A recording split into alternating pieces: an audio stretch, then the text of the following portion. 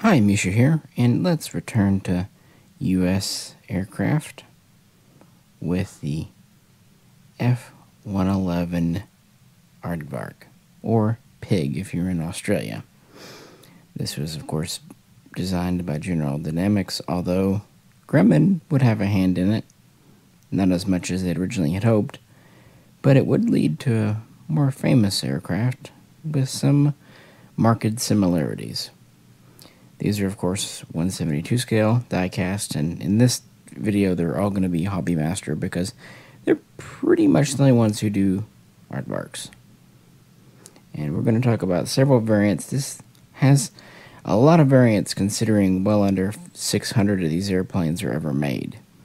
And we'll talk about the original strike aircraft used by TAC, the bomber variant used by SAC, the electronic warfare variant, and we'll talk about a couple of variants used by the Australian Air Force, who arguably found the most success for this plane. So, yeah, a lot to dive into here, so get a drink, get a snack, buckle up, and I don't blame you at all for watching this video in parts and sections. But you know, I want to tell a complete story, and I actually have two new aircraft. One of them came in about a month ago, and the other one came in a couple of months back. I just haven't had time to really deal with them. And some I've had since really I started collecting Hobby Master some years back. So, excuse the dust. Let's jump in. It really is good that Hobby Master does these because while generally speaking they look very, very similar, the devil's in the details, and once you know to look for them, these aardvarks all have very different features. We'll get into that. But yeah, I'm just glad a quality company that pays attention to the details like Hobby Master did them. They don't always get them right, of course. No one ever does. But most of the time, they're on point. But we're going to begin with a F-111A circa 1975 U.S. Air Force. But of course, first we have to talk about the history. This aircraft, at least the concept behind it, goes all the way back to 1960, early summer. The U.S. Air Force was needing a new low altitude, high speed, penetration, medium range interdictor type aircraft tactical bomber, a strike aircraft. This was kind of responding to the latest in Soviet anti aircraft systems like SAMs. Go in, deliver a payload using the most sophisticated guidance possible. So, good fuel tankage. In fact, it needed a range of about 3,800 miles, be able to sustain at least Mach 1.2 at low altitude. And they were interested in swing wing. Uh, because one of the other requirements was unprepared or short, relatively speaking, airfield takeoff, especially in higher weights. And of course, uh, that was a pretty steep thing to ask of a bomber, fighter bomber, interdictor of that day and time. And uh, so it was a pretty thing. Now, swing wing was not totally new. There had been some experiments before. For example, the Bell X5 Grumman had a Jaguar prototype, but it really wasn't ever in production. But the idea is wings fully out for low speed, you know, landing takeoff, and then retracted in for high speed dashes and, and what have you. And you know, in between for different compromises therein. The Navy too was needing a new long range slash endurance interdictor to protect the fleet. It needed better missiles, longer range, basically just a good payload, what have you. And originally they were working on the Douglas F6F, eh, excuse me, F6D, but that was actually canceled late that same year, 1960, so they were needing a new aircraft. But at this time they were separate. No one really put them together. And it was election year. The Eisenhower administration, after two terms, was obviously going out. Everyone knew that, and no one knew who was going to come in. So nothing much happened. Of course, the Kennedy administration came in in 61 with a new Secretary of Defense, Robert McNamara. And his idea was to combine and collaborate with the branches as much as possible. So, as early as February of 1961, he commissioned a study to see hey, the Air Force and the Navy both need a new aircraft. Can it be the same thing, just modified lightly for each one to fulfill their needs? Oh, and can it provide close air support too? Because, oh, we need a new close air support jet. Well, that was quickly dropped already by May it was just determined that that was completely counter to the other needs. And so that would spin off into a different program, which would ultimately culminate in the A7, which I've done a video on quite recently.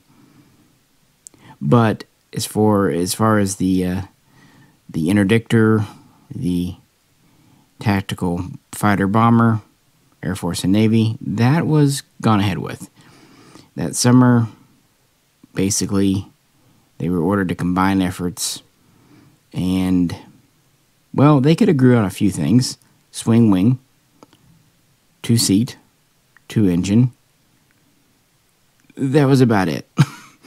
Otherwise, their needs were, at least on paper, very different. But nevertheless, in September, they would basically open things up for, for proposals in the industry. And by December of 1961, you had nine companies giving their ideas, kind of the, the, the general names of the day. You had uh, Boeing, General Dynamics, McDonnell, you had Lockheed, North American, Republic, so on and so forth.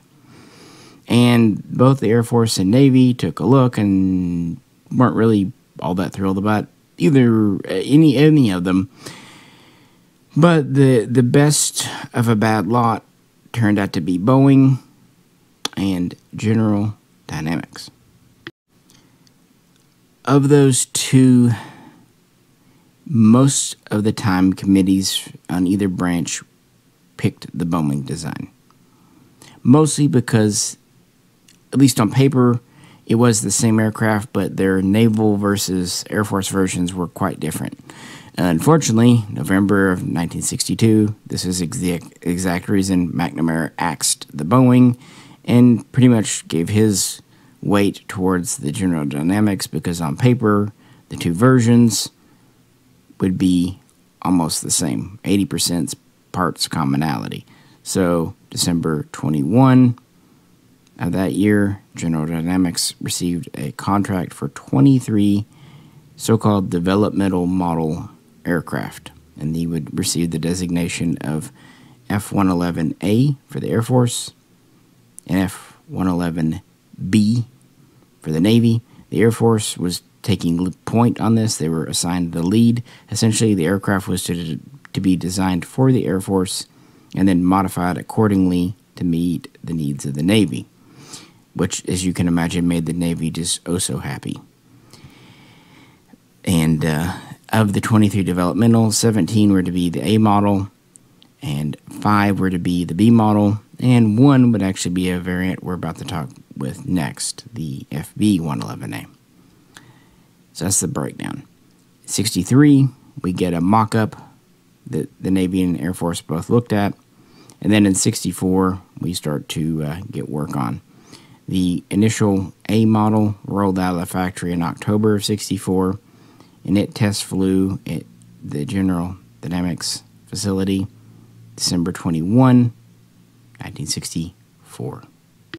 As for the B model for the Navy, because General Dynamics, we'll call them GD from now on, really didn't have a lot of experience with carrier based aircraft, they worked with Grumman. They would do a lot of the avionics, a lot of the testing, a lot of the integration with the fleet because they, they knew. They would also be given some of the subcontracted work for some of the components for the A model too to give them, you know, a, a perk. So that's why the B model first flew May 18 from the Grumman facility, 1965. And so it seems like things are going pretty well on track despite some initial hesitation. And the idea was to have this in service by October 1965. We're, we're behind schedule because, yeah, the development was not smooth. You might think it's the swing wing, but it really wasn't the problem. Actually, the engines, the, the Pratt & Whitney TF-30s, especially their intakes, were giving issues. Some of the navigation systems. This was to have terrain following radar and an autopilot that could be set with that. Yeah, just they had a lot of issues with weight, especially with the B model. And it just didn't go smoothly for either the Air Force or the Navy. And a report in late 65 from the Navy was very scathing of the concept F111B. It just it just was not working out and it's not what they wanted. But, you know, kind of turnabout's fair play because earlier the Air Force really didn't want the F 4 Phantom. That was a Navy plane, but they got it anyway, thanks to McNamara. Thankfully for the Air Force, the F 4 turned out to be a great bird, but not so much with the F 111B. Things kind of stalled. They did build the the uh, pre-production models, and they even built a couple of so-called full production B models, but 68 was the end for it. First, Congress would cut funding in May of 68. Then in July, the program would be suspended. And then in December, it would be officially, formally axed. This really has a lot to do with the experiences in the Vietnam War. So, there goes the B model. But the F 111A model while it had its own issues, was still alive and well, it would definitely go into U.S. Air Force service, and that gets us to our first 172 scale diecast Hobby Master model on the spinny thing today. Despite the hardships, the setbacks, the difficulties, and the Navy dropping out, the Air Force would persevere, and the first production models would be delivered July of 1967 and they would make their way to squadrons by October of that year for field testing. And very quickly, six would be sent to Vietnam Project in March of 1968. And it, well, wouldn't go as planned. Combat Lancer program, they sent them over to Southeast Asia for testing and trials. Now, these are the original F-111As. These were initially powered by the TF-30 P1s, but soon upgraded to the TF-30 P3 engines. One thing I should mention, the cockpit, of course it has seating for two. On the left is your pilot, on the right, weapons officer. And they're not in ejection seats, it's actually a capsule and that was that was originally something done for the Navy for the B model, and also used some of the kind of technology from the space program. There's pros and cons to the capsule system. All in all, kind of more of a con, but it was a cool concept. I'll give them credit for that. But also a very rough landing. So with that, yeah, it's a swing wing design, so let's swing this one. With the Hobby Master, the wings are geared together, so when you move one, they both move. But you do have to manually rotate the ordnance underneath. Eh, good enough for government work. It's kind of a ball and socket, and it actually plugs into kind of a rubber area. So it has a little wiggle wobble, but generally speaking holds pretty decent, especially the inboard.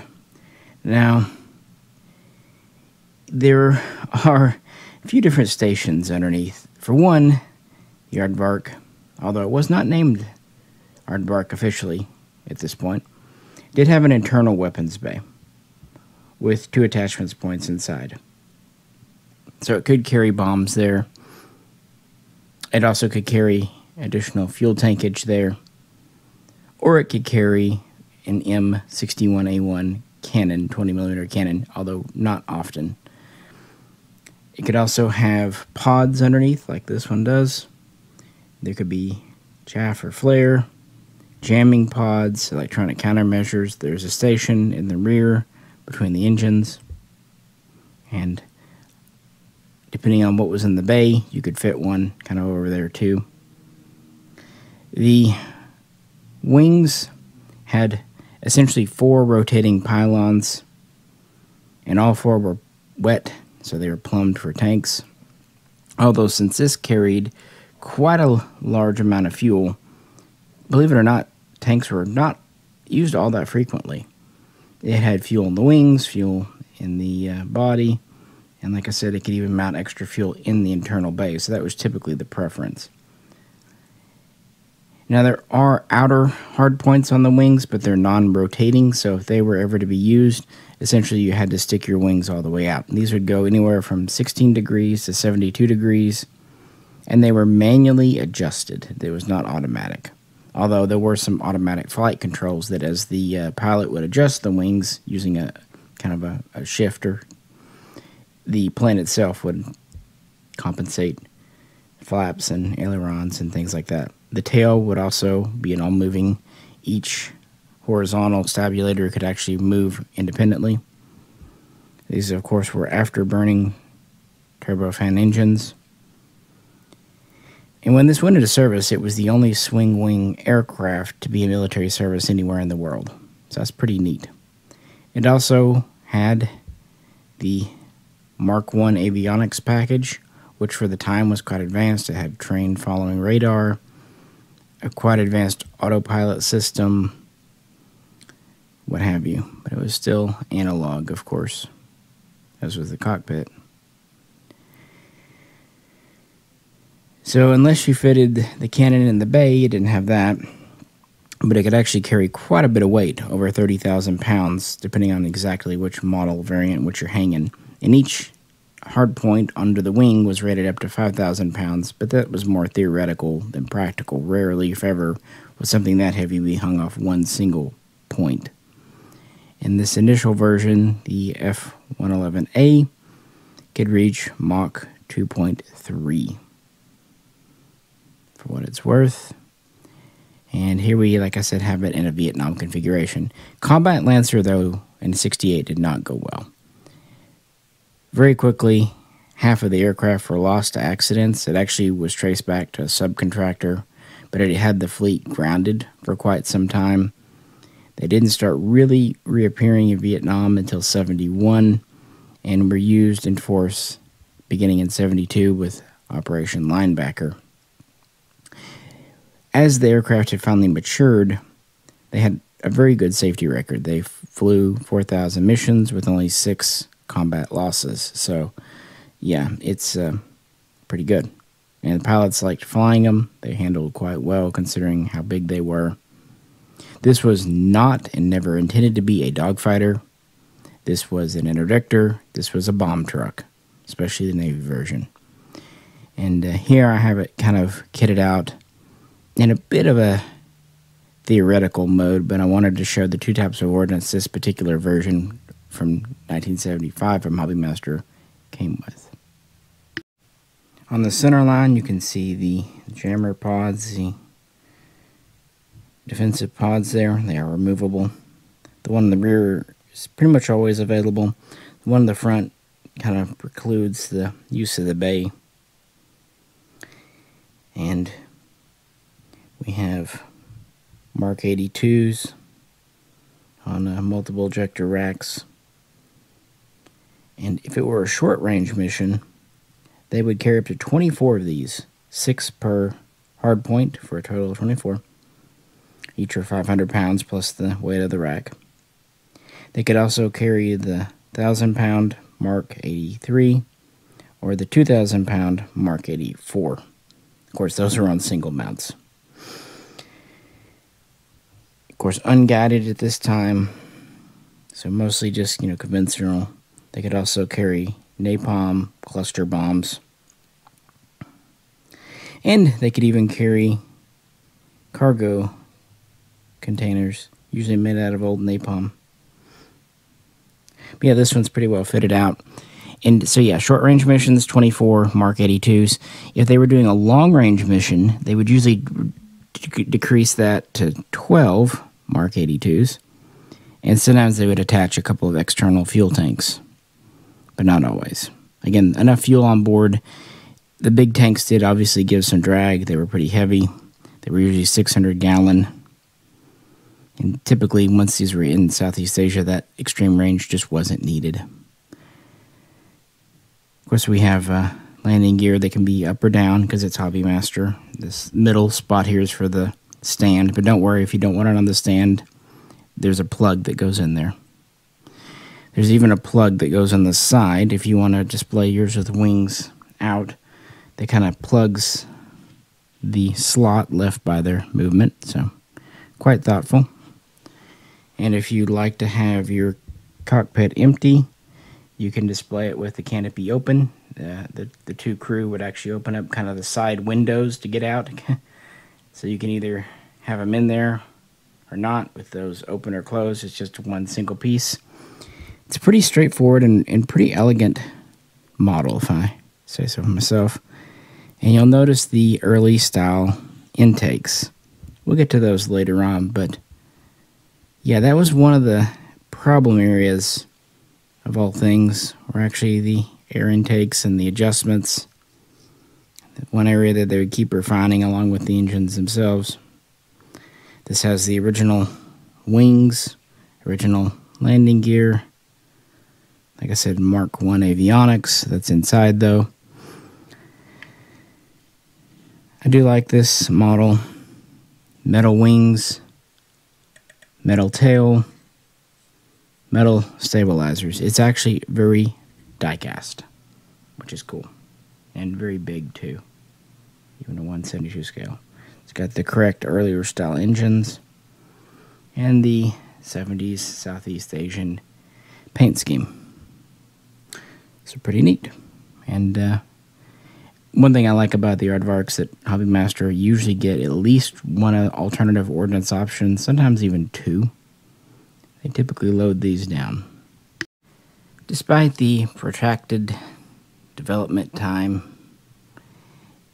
when the Air Force finally obtained this, it became quite a useful little tool. Medium range, it had about four times the carriage ability of the venerable F4 Phantom yet it was still smaller, cheaper, and just more cost effective to operate. Required far fewer crew than say a B fifty two bomber or even the B one B bomber, B one A originally. It it filled the unique role. It really did. And so it it um it yeah it wasn't exactly a success. They hoped to build over fifteen hundred. They never reached near that number but it wasn't canceled like so many of its contemporaries, like the TSR2 over in the UK. So there's that. Of the original F111A, they would build 159, including pre production models that had been updated to the A standard. And they would remain in service for a considerable period of time. But with that, Let's move to our first variant. Now we have to go back to the almost very beginning, back before the F-111 was the F-111, when it was just referred to as the TFX, Tactical Fighter Experimental. In 1963, the Air Force's SAC, Strategic Air Command, we've been talking about TAC, Tactical Air Command so far, but SAC found that it needed a medium range strategic supersonic bomber. The B 52 could deliver a payload, but it was large and required large airfields and so on and so forth. And the B 58 wasn't working out as planned. And this was really to be an interim measure into something more advanced could come along. Eventually, this would be the B 1A, which would be canceled in the Carter administration and then resurrected in the 80s. Uh, story for another day is the B 1B. So the proposal came in 63 to alter the F 111A to the FB 111A. In 65, this was considered and pretty much hit upon. Remember, we have one developmental prototype or model being made. In, in December of 66, the Air Force SAC would sign a contract with General Dynamics. And the developmental model would first fly in July of 1967. And initially, SAC would consider as many as 263. This was quickly reduced to 210, and the first production models were available August of 1968. But this is when the program was really hitting a rocky point post the uh, Combat Lancer program in TAC. The UK had canceled the F 111K.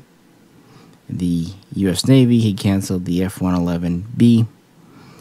So the press wasn't fantastic.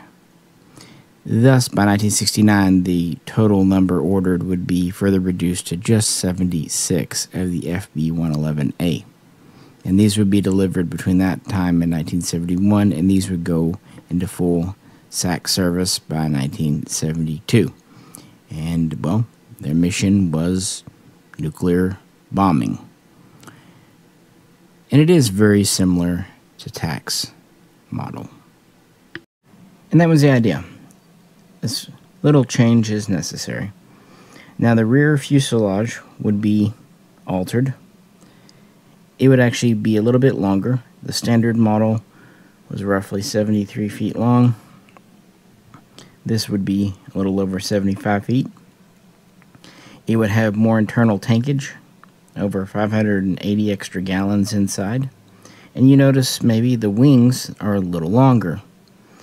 This long wing platform was actually borrowed from the F 111B, the carrier base version. And uh, when they're retracted back, they're not that much wider 34 feet versus 32 feet, but the spread is wider 63 feet versus roughly 70 feet. So you're looking at uh, over three foot extensions per wing. This just gives better carriage ability.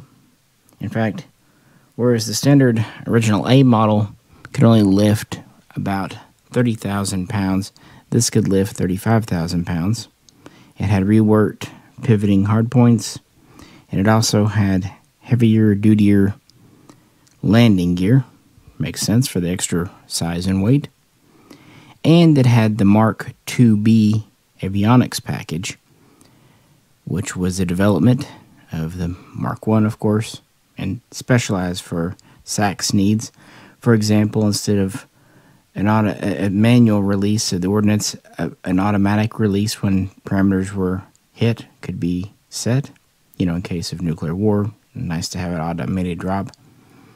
And uh, it also had satellite communications and a star tracker for navigation, and just several other improvements for long range, that kind of attack mission and it would use the internal ordnance bay quite often, at least compared to the original.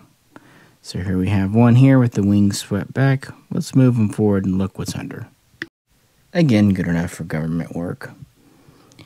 Would it be nice if Hobby Master had figured out a way to make these rotate automatically as you pivot the wings? Absolutely. I don't know how they'd really do it and not make it a clockwork nightmare that was prone to breakage. It's one of the reason I do like Hobby Master. When possible, they keep it simple because simple is durable, dependable. And they don't really often go in for gimmicks. But yeah, this would carry either the B 61 or B 43 nuclear bomb in the internal bay, or it could carry a fuel tank in the internal bay. On the wings, it could carry two even four external tanks. Again, they're all plumbed. Or it could carry none. And instead, it could carry Boeing's AGM 69 SRAM. SRAM? SAM. SRAM. Short range attack missile. Had a range of about 100 miles. Could deliver a small but effective warhead.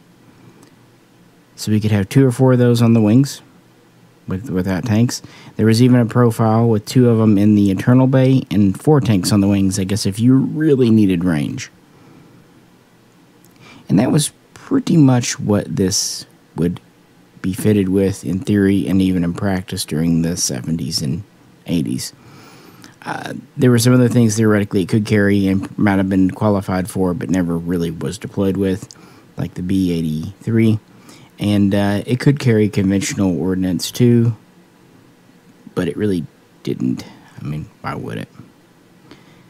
So it is a very similar bird, but also a very, very different role and a very different kind of outfit.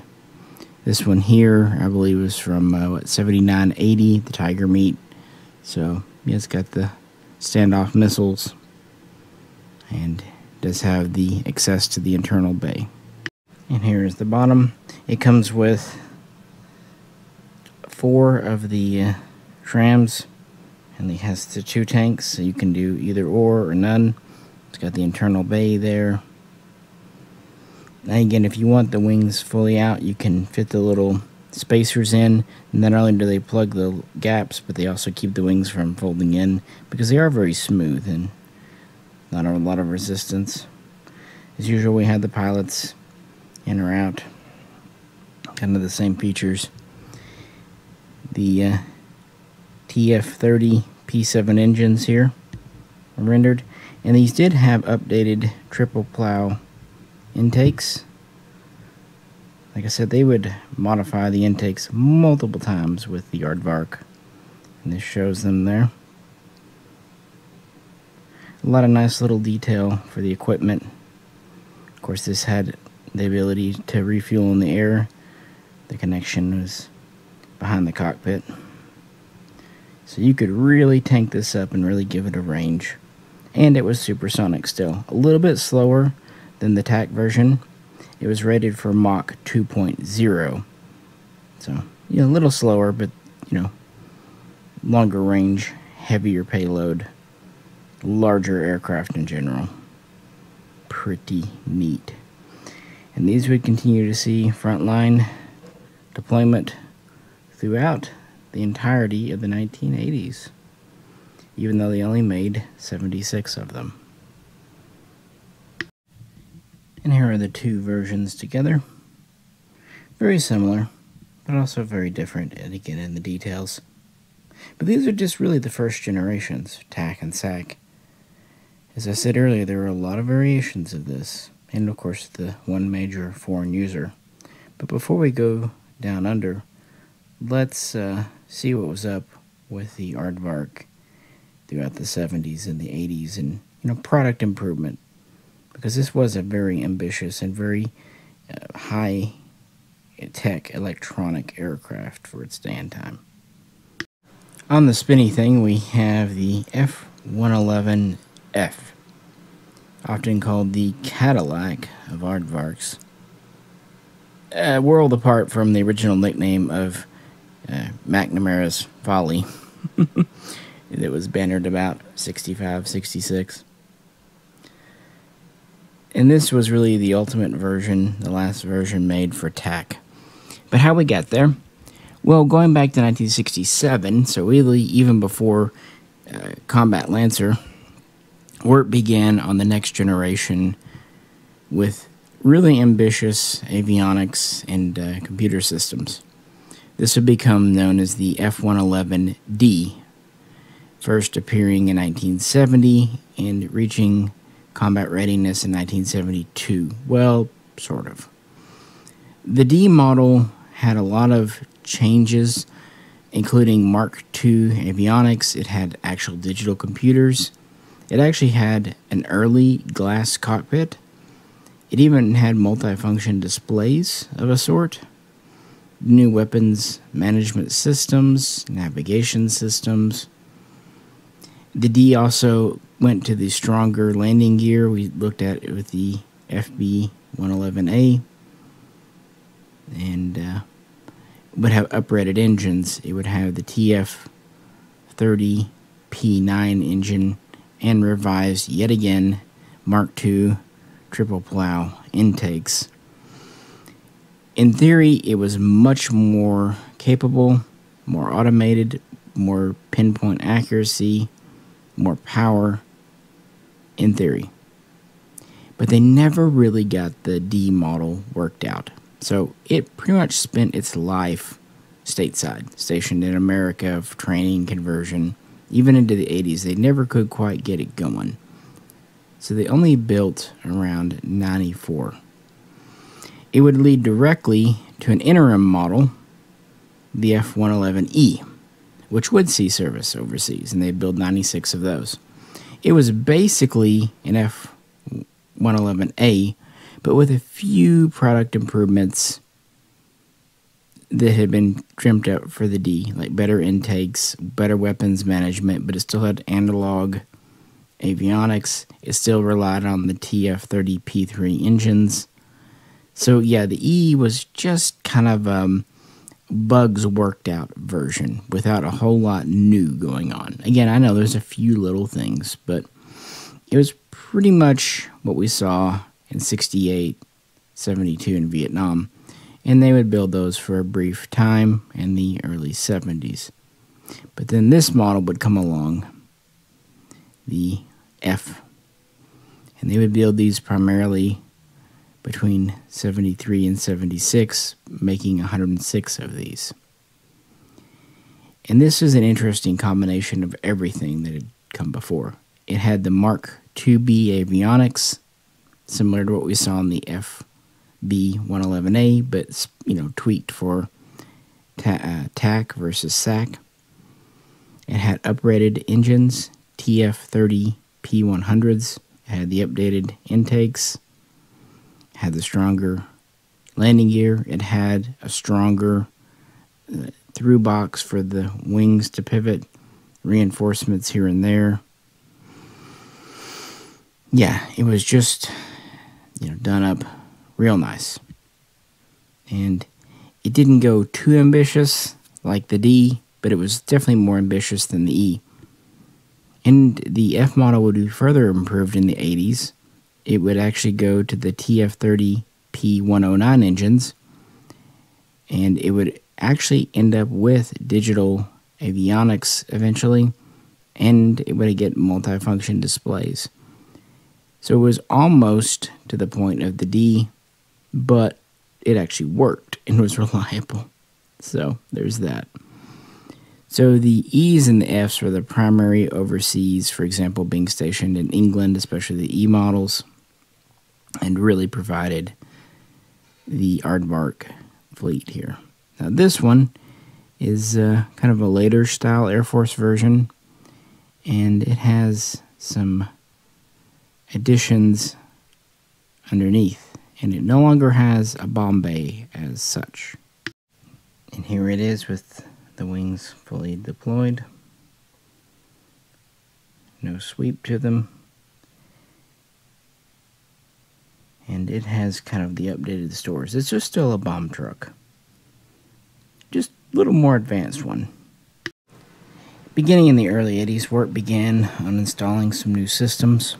For example, it would get uh, forward-looking infrared. It would also get the Pave Tack laser designator pod, which was now taking up the former bomb bay, kind of in a little turret mount. They could even retract in to keep it safe and otherwise help designate targets for either the aardvark itself or friendlies. And it can still de deliver conventional ordnance, updated Mark 82s on the multiple racks. It could uh, deliver various guided paveways, that kind of thing too. Thanks to the uprated engines, it had over 35% uh, more oomph, which just helped things immensely, including top speed in fact, it was almost able to hit Super Cruise. not quite. And uh, top speeds for some models, some variants, and some loads could hit over uh, Mach 2.3, some say even 2.5. At this point, the gun, which had never been heavily used, was pretty much officially taken out of option. I mean, it just wasn't really in service anymore. The designator pod and all that. And these were used for precision, long range strikes. And by the 80s, they had long since left their teething phase behind, and these, and especially the F models were very capable machines for what they were. And they were used. For example, April 1986, Operation El Dorado Canyon, 18 were assigned to strike targets in Libya, which made the longest combat mission on record, over 13 hours round trip. And uh, they delivered their ordnance, at least to the targets they were given. It wasn't up to the pilots that they were given the right coordinates. It was up to them if they delivered them. And one aircraft was lost. I should point out that, of course, the electronic countermeasures, jammer pods, all that, had been updated continuously over the years too. Keep pace with things. Also, they started fitting some with AIM-9 Sidewinder missiles, either on the outboard kind of shoulder stations of the wings, and there's even experimenting with putting them in the weapons bay, although I don't think they went much of anywhere. This wasn't done a whole lot, but you never know. Self defense with the newer Sidewinders. It made sense to put them on aircraft because otherwise, this thing was only relying on its speed and agility, such as it was, for defense. And from there, the Aardvark really made a name for itself, beginning in 1990 when some were stationed in the Persian Gulf, Operation Desert Shield, turning into Operation Desert Storm in January of 1991. 66 in total were uh, stationed over there, and uh, they really did well.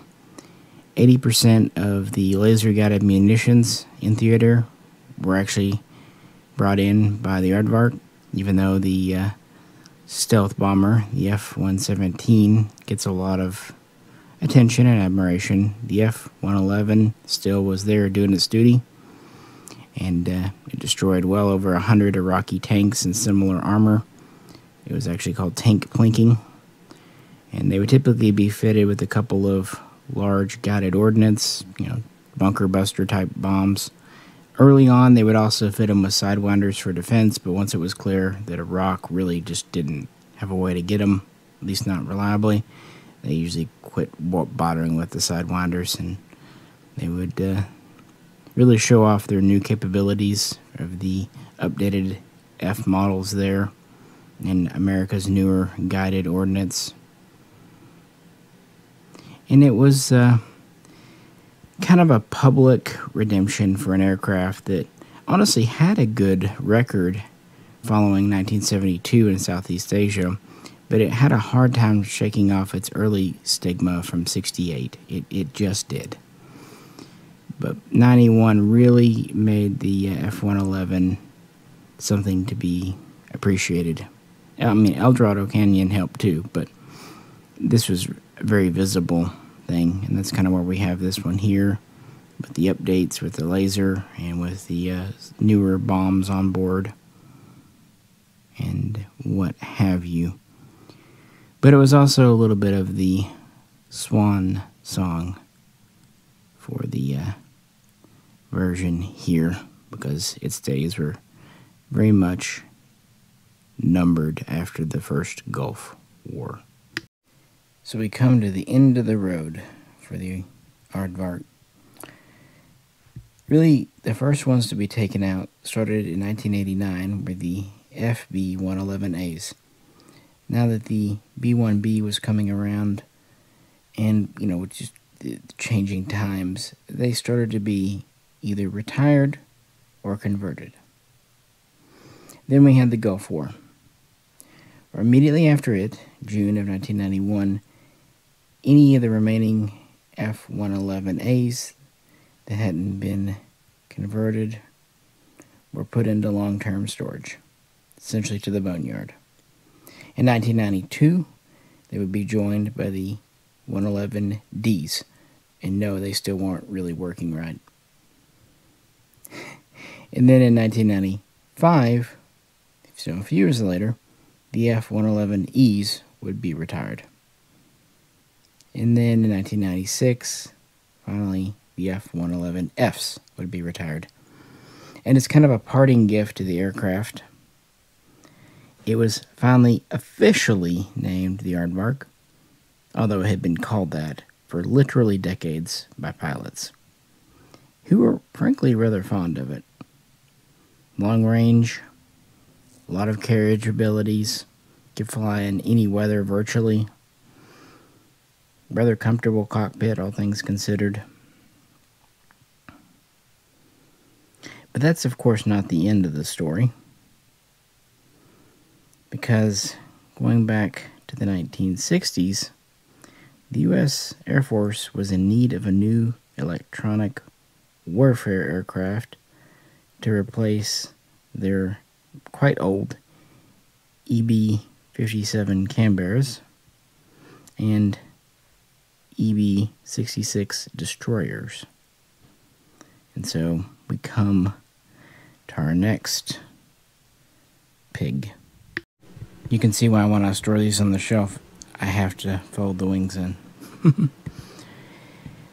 we come to the EF 111A, officially known as the Raven, and unofficially the Spark Bark, and initially the Electric Fox.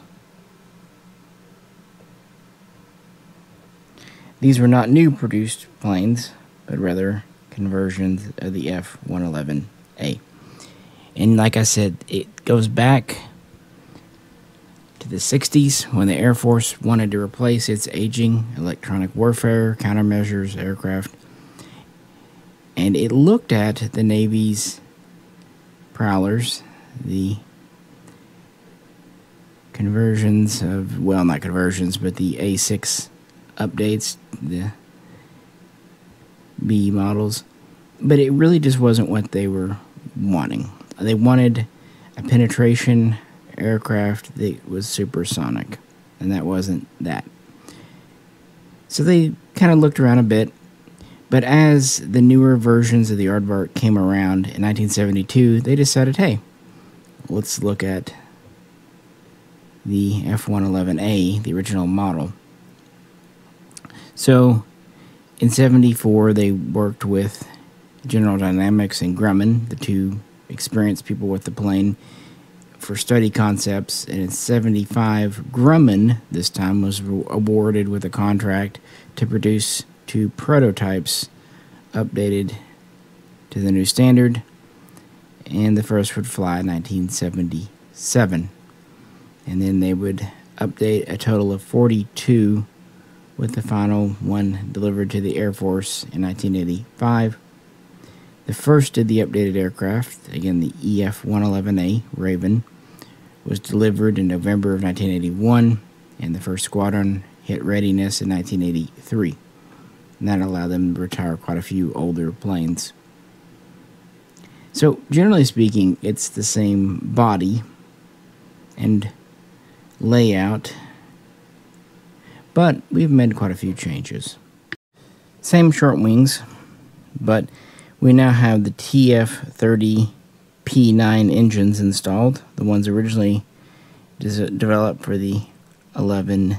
A little more umph, because we're going to be carrying 6,000 pounds of electronics. Now, we had this big fairing on top here. The Navy used the ALQ 99, the ALQ 99 pod on the uh, Prowler. Well, the Air Force used a variation of this, the ALQ 99E. And then we had additional jamming and electronic warfare equipment in the old weapons bay because this was unarmed. The only thing it could really carry on the wings were fuel tanks. It couldn't carry anti radiation missiles. It did have a radar warning, early warning system installed, things of that nature. It had jamming equipment because it was electronic countermeasures and electronic warfare aircraft. So, yeah. But no way to defend itself directly. The cockpit was rearranged. All the flight controls were given, now given to the pilot. The second seater was purely electronics officer. And uh, just in general, it was modernized, and they would continue to modernize these. There was a big program between 87 and 94 to update them, giving them digital computers, multi-function displays in the cockpit. I mean, you would expect an electronic aircraft to be kind of kept up to date. so that makes perfect sense. So this is where some of the original A models went. They became Ravens. And they were used in El Dorado Canyon in 1986. They were also used Operation Just Cause over Panama in 1989. And of course, they were deployed in 1991's Gulf War. And in that war, they had quite a good record. In fact, anytime a Raven was on station providing its facilities and assistance, no Allied aircraft was lost to enemy action. And a funny event happened on January 17, 1991, when a Raven is credited with the downing of an Iraqi Mirage F 1. In more recent years, some party poopers have questioned the story's authenticity, but we don't care. It's a fun story. We're going to go with it. And then in February, one of these was lost when it hit the ground trying to evade a missile from a different Iraqi Mirage F 1. So, you know, you win some, you lose some, quite literally. That was the only combat loss in that war, and in fact, only three Ra- Ravens were lost in service with the U.S. Air Force in general. So, quite a good safety record. Grumman did a good job updating and refurbishing these using technology from other things, including some bits from the Navy. And these would continue on a little while after the others. Finally being retired in 1998. So a couple years longer than the 111Fs. So technically the final version in service. Of course, these would be replaced by yet more modern electronic warfare aircraft. But there would actually be a bit of a gap in service with the Air Force for a time. In fact, the Navy would sometimes have to fill it with their growlers. Story for another day, though.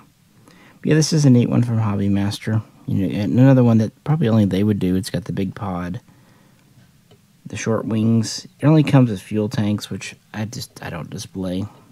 I think it looks neater kind of clean like this. And unless you had a really long range mission, that'd probably be how it would fly.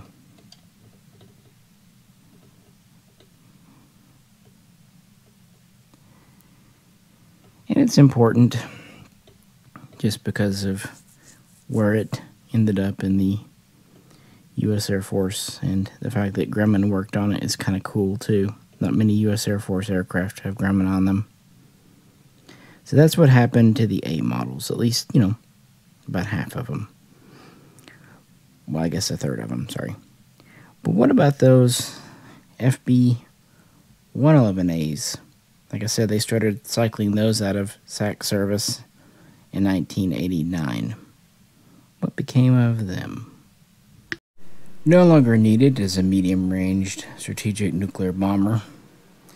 Beginning in 1989, some FB 111As were converted into F 111Gs.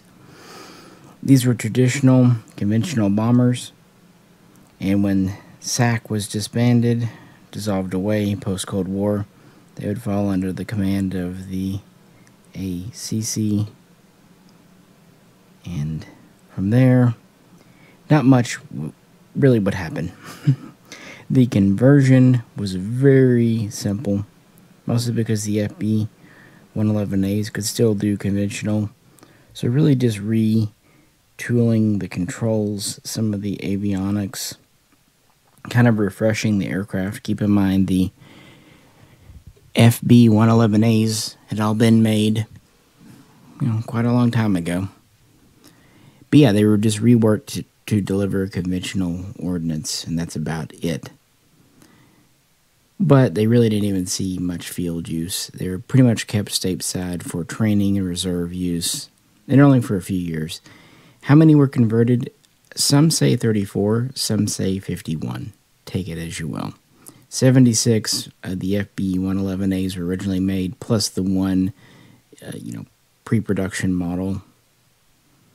So, mm, yeah, a little under half, or a little over either way. A very light conversion, though. But already by 1993, post Cold War, all the cuts happening. We see the other, you know, A's and D's and E's getting retired. So the G's would also be mothballed. Of course, this one is sporting some rather non conventional ordnance under the wings and has some rather down under markings.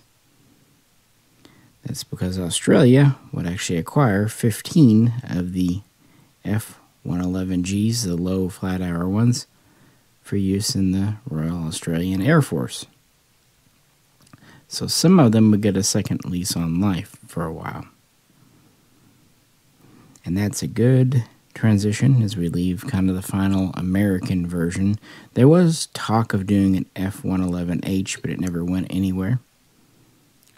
So yeah, we've kind of covered all the U.S. Air Force variants. They were never any used by the Navy. Just uh, the seven F-111Bs. But even though the B never went into production and never went on board a carrier, work on it really did help other variations, including the large wing and what have you. So with that, let's talk about the Aussie Pig, the F 111C, and its variants. The Australian story. Really, the only foreign user of note for the Aardvark, but what a foreign user it turned out to be. Even though the number of aircraft were quite small, they made a huge impact, and this became very famous. And it all goes back to the mid 50s, post Korean War. Just as the Canberra bomber is coming into service, known in America as the B 57, Australia knew it needed a new long range strike attack bomber aircraft, also reconnaissance. And it did consider one of the British V bombers, something I have done a video on here, although it has been a minute. They considered that around 56, but they were just too expensive. But they were hoping to get something new in play by 1959, but this would come and pass.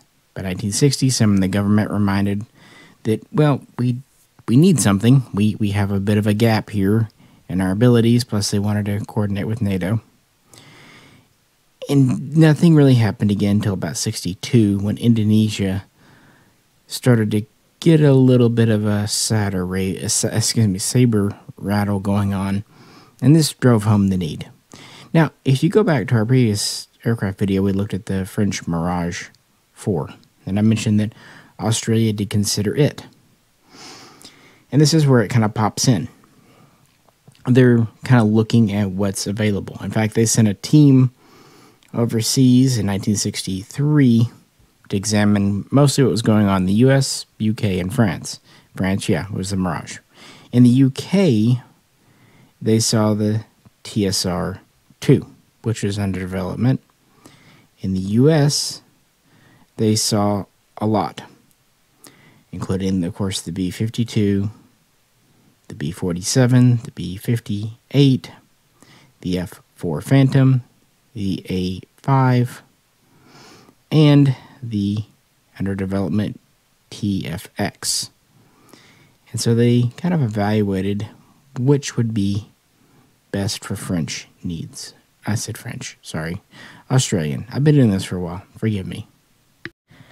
But with that faux pas, the French Mirage, they actually did like, and it was a little bit shortlisted, but it did not have the range, the endurance that they needed. Keep in mind that they were expecting over ocean travel. Next, the British TSR 2. It was felt to be too expensive and also too risky because it was still under development. What if it never came to fruition? At least the Mirage 4 was ready. Moving to the US, the B 52, the B 58 were too large. They just would not suit Australian airfields and needs too much. The F 4 had kind of the opposite problem it just did not have the range, the endurance, especially keep in mind we're talking about the original Phantoms here. You know, the the B models, the C models, so on and so forth. The A5 also did not suit, but the TFX under development, but it had everything Australia was looking for payload, range, endurance, speed, modern radar electronic countermeasures, all things that the Canberra was simply missing. So, October 24, 1963, the Australian government announced that they would be purchasing 24, enough for two squadrons, of the new TFX from the USA once it was ready, and they knew it would not be ready for a number of years. They planned to get 18 standard strike models originally just to be the F111A, and six of the in development FR111A reconnaissance version. And uh, they would kind of keep a pace with things. And as it turns out, they were right. The uh, TSR 2 was canceled in 1965, which ironically left Britain to turn to the aardvark themselves, and a version for them was designed known as the F-111K. In 1967, 50 were ordered for the RAF. But going back just a minute, the Australians originally wanted to buy just a standard version, but they needed to make changes for their own needs. And enough changes had been made in 1966 this was redesignated as the F111C. And with that, let's put the final model on the stand. This is uh, a 111C.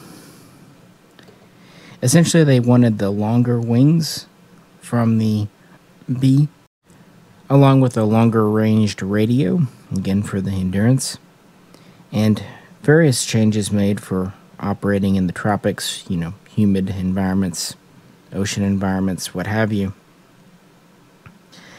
And Australian engineers helped study metal fatigue, and Australian pilots tested some of the prototypes. So Australia was very involved in their variant. And it would take shape kind of based on the new technologies.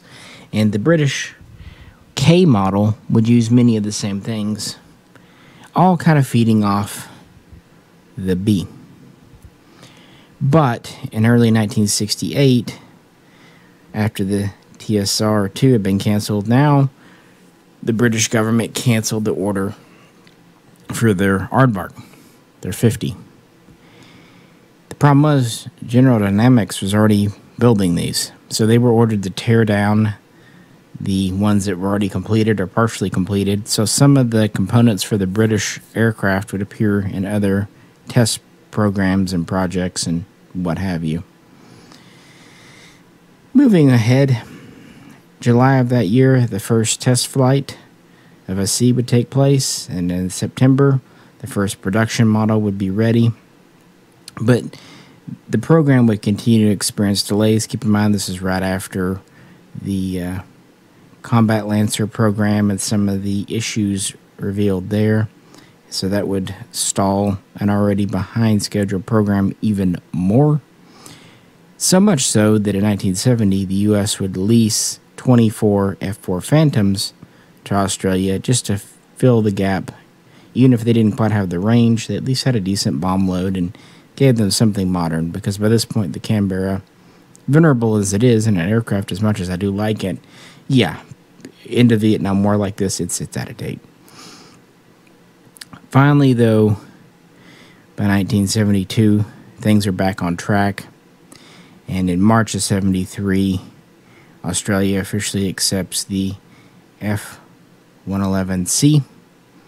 And the first six are officially delivered to Australia that July, and then the next 18 are delivered in three more batches. So, four batches total of six. So, they did get their 24 that they ordered, but they did not get 18 strike aircraft and six reconnaissance. All were strike aircraft. That's because in 1971, the U.S. Air Force canceled their plans for the FR 111A, the reconnaissance version.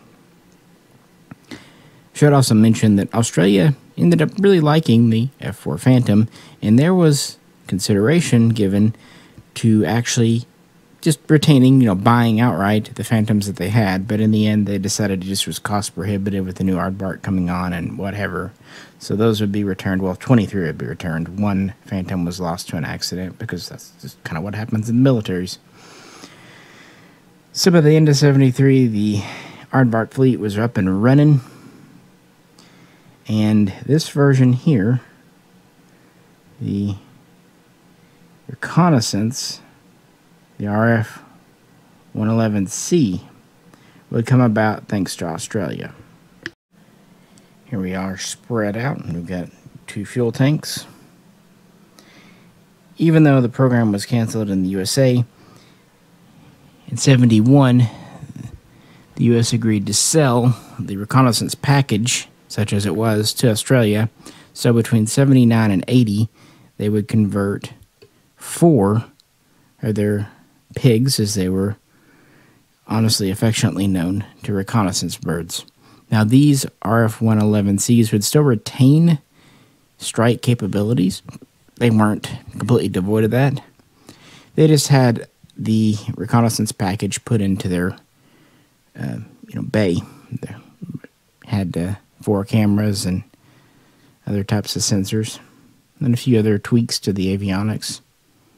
Pretty straightforward, though and uh, yeah, they would be used to you know, deploy the force.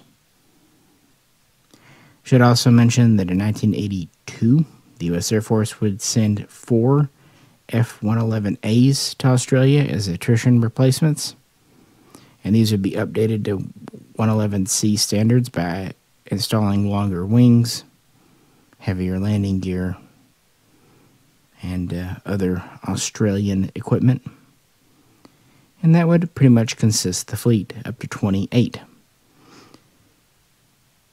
12 were kept on strike readiness, up to 4 were on reconnaissance duty, usually just 2 though, and then the others would be down for maintenance or on standby.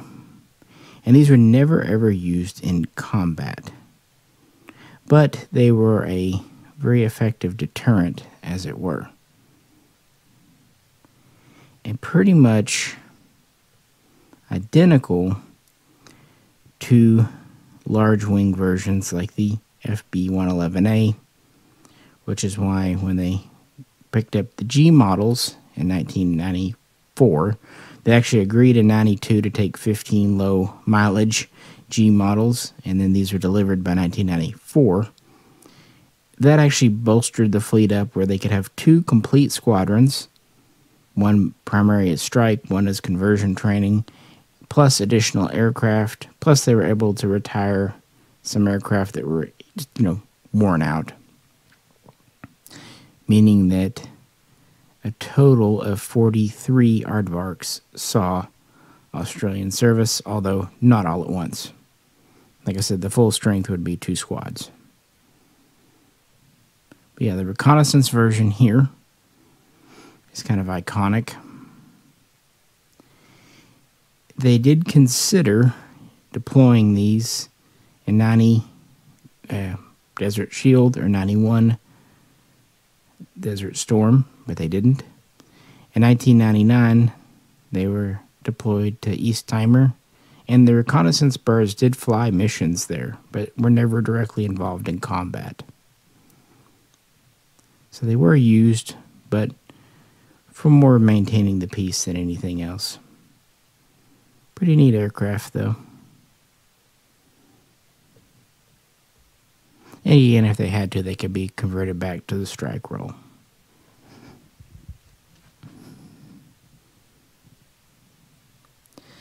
But there were some interesting weapon systems employed on Australian Royal Air Force aardvarks too.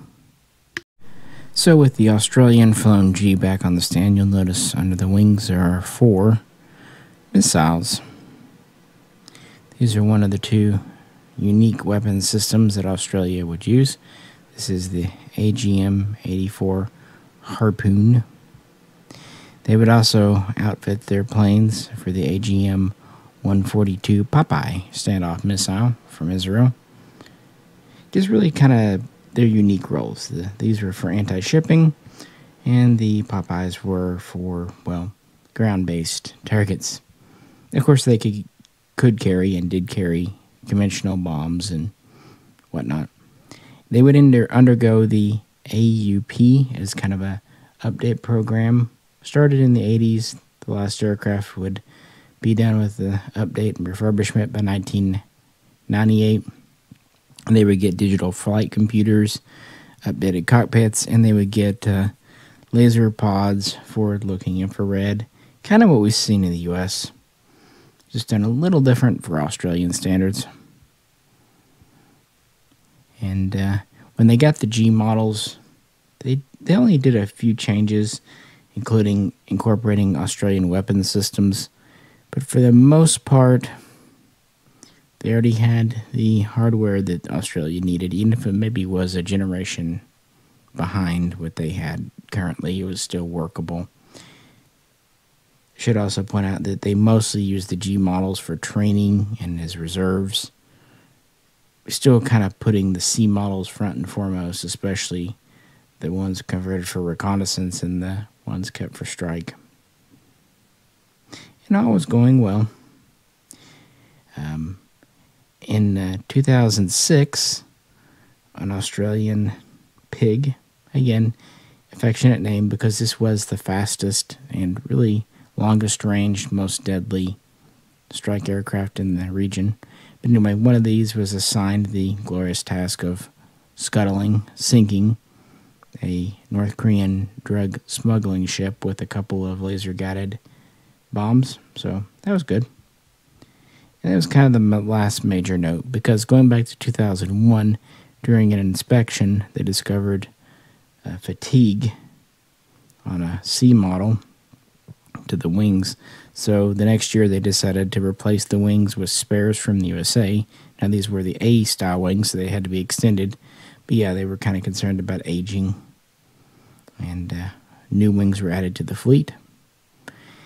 And even though they originally planned to keep the Aardvark in service to 2020, with rising costs of operations, new technologies, changing needs of the Australian Air Force, and you know presumed uh, fatigue of the aircraft, by 2007 they started retiring planes, and mostly they, they retired G models because you know, they, even though they'd only had them for a little over a decade, keep in mind they were secondhand from the U.S. to begin with.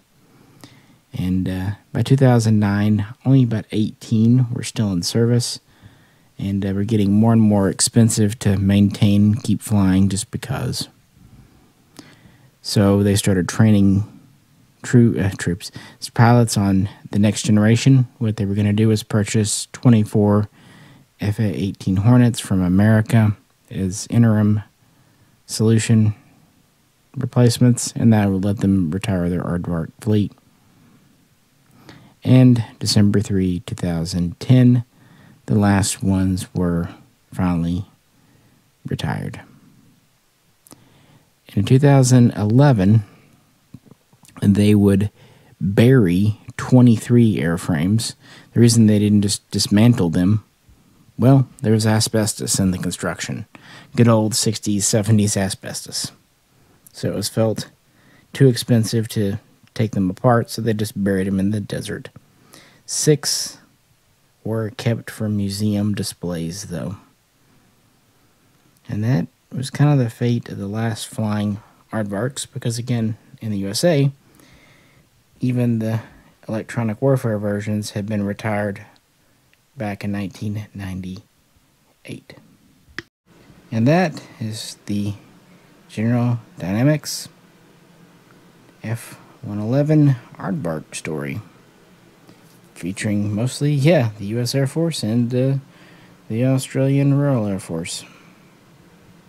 Even though a few other nations definitely considered it for a time. Can't really say it was a runaway success. Like I said, they originally planned to make 1,500. In total, they made 563, with the last ones coming off the assembly line in 1976, but really, by that point, they were already really much winding down. In the Air Force, it was replaced by the F 15, mainly the F 15E Strike Eagle, and did not have a direct influence on that. However, even though it never went into service, ironically, the Navy's B model, F 111B, directly influenced a little known aircraft, the F 14 Tomcat. Very similar, almost identical TF 30 type engines. It used the AIM 54 Phoenix missile, originally developed for the, the B model. Two seat, of course, and swing wing, of course. So, yeah, direct influence there. And of course, Grumman had worked on the F 111B and would develop the F 14. So I can't say that that was all a waste of time because without the F 111B, we might not have had that. Who knows? And in the Air Force, even though it took time, once they get to the F model, it proved very well in the 80s and really had a very, very good day in the 1991 Gulf War. In the the Raven, the electronic warfare aircraft, is often considered to have been retired before its time. In fact, when the Air Force retired it, many consider prematurely, it left them with a huge capability gap. So it actually proved to be quite an effective electronic warfare countermeasures bird. The B mod, the FB 111A model, it, it did its job perfectly well as a nuclear strike strategic type aircraft. And of course, that transitions right over to the Australians. It served them very well. It gave them capability. It was a huge step forward from the uh, Can- Canberra. It was probably good though that they had the F4 Phantom as a loaner in 1970. That let pilots kind of get caught up on the jet age before jumping into this thing. Without that, the transition directly from the Canberra, you know, Mark 20 to this would have been pretty jarring. But it gave them a capability and gave them a leg up over their neighbors and kept the region stable. Since it was never directly used in combat, we can pretty easily say that. And Australia was the only nation to fly a reconnaissance version. So that's pretty cool. And uh, well, the UK rejecting the K model. And yeah, that's just the UK for that era and time. What can you do? And of course, none are flying today. Its day has come and gone. It was very advanced, but yeah, swing wing technology was applicable in the 60s, but with computerized control, fly by wire, it became unnecessary you know, modern jets don't have to really use it. Of course, the Soviet Union also had the MiG 23 and a couple of Sukhois that use swing wing too. So that's kind of interesting. And the British would go for their Tornado. So it was definitely not the only aircraft of this kind of pattern and type. But I think it's interesting. It's a big aircraft. 75, 76 feet long. Wingspan of 63 to 70 feet wide, depending on the exact model. Heavy. Anywhere between 30 and 35,000 pounds carriage ability. Fast. Mach 2. Mach 2.3 on some models, even greater. Not the highest altitude known to man, but wasn't ever meant to be 45, 50,000 feet. It was always meant to be low and fast. And it did have a very advanced terrain following radar and uh, autopilot, again, for its day and time.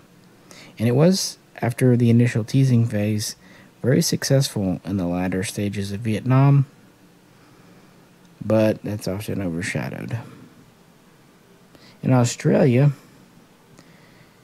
Seven C models were lost to accidents over the years, and one G model, so eight Australian aardvarks were lost, and uh, that claimed the lives of 10 of the crew. Because of the ejection system, the capsule, it was kind of a, you know, either both would make it or neither would, most likely.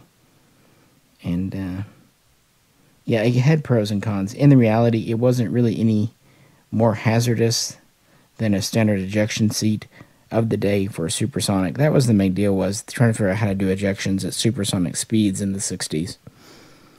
But of course, newer Martin Baker ejection seats have kind of overcome a lot of those issues.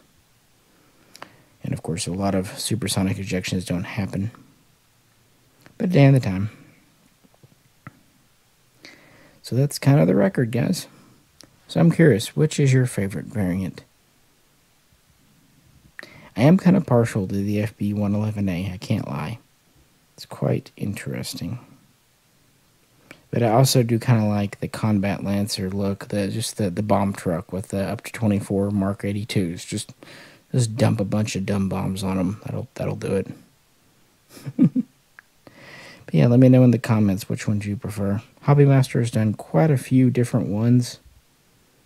And again, the differences tend to be in the engines, the intakes, of course, the ordnance, the wings, and a little bit in the rear section of the fuselage. With that, this is Misha, and I'll catch you very soon next time.